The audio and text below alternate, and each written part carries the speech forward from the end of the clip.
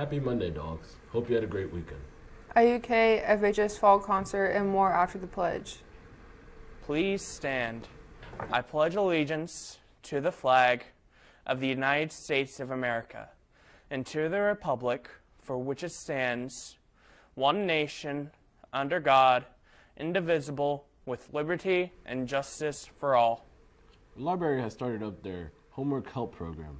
They're doing free math tutoring every Monday from 6 to 7 p.m. If you're struggling in math or need a little extra assistance, go check it out. Tomorrow afternoon, IUK will host Latino Family Night here at FHS. The event starts at 5:30 and will end around 7:30. Make sure to attend the event if you're interested. Now to Dougie Wood with sports.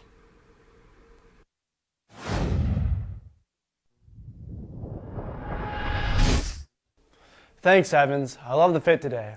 Who's ready for some boys basketball? College basketball starts today, so I'm pumped for that. But our boys basketball team will be having tryouts today and tomorrow. For any boy wishing to try out, the team will be having tryouts from 3 to 5:30.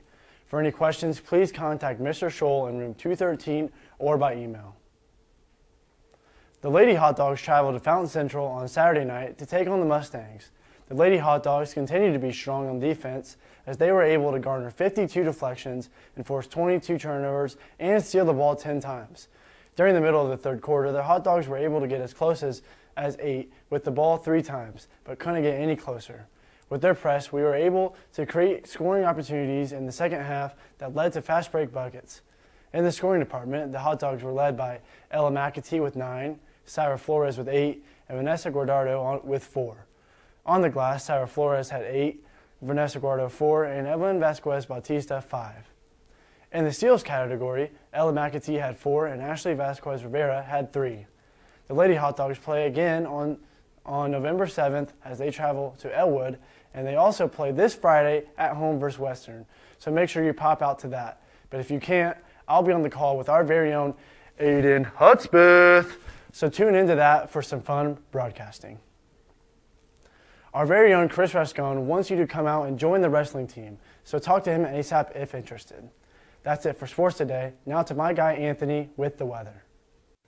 Thanks, Dougie, and good morning, everyone. It was daylight savings yesterday, so I'm sure everyone was not used to seeing the sun in the morning.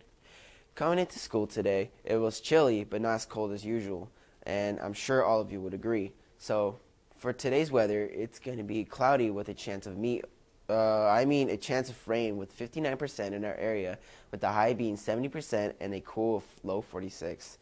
Please remember to bundle up every, uh, everyone as the weather progresses to become colder. I'll see you guys tomorrow, and now back to our amazing host, Ella. Congratulations to our FHS band orchestra students on an outstanding concert Friday night. For today's lunch, we will be having beef nachos in lines 1 and 2, and in lines 3 and 4, we're having pasta with meat sauce. And a special happy birthday goes out to Dominic Stover and Mario Paz Lopez. Hope you have a great rest of your day, dogs.